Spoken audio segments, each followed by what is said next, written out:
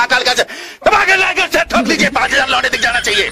हम तुम्हें मारेंगे और ज़रूर मारेंगे। लेकिन वो बंदूक भी हमारी होगी गोली भी हमारी होगी और वक्त भी हमारा होगा।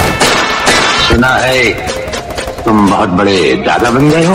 हाँ राना हाँ नहीं कहते राना को जी क्या अभी भी ताज़ा ताज़ा कहा लोग हर पेशे में खुद को गुलाम कहते हैं।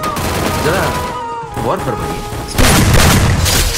लोग हर पेशे में खुद को गुलाम करते हैं। हम इश्क करने वाले शायरी को काम करते हैं।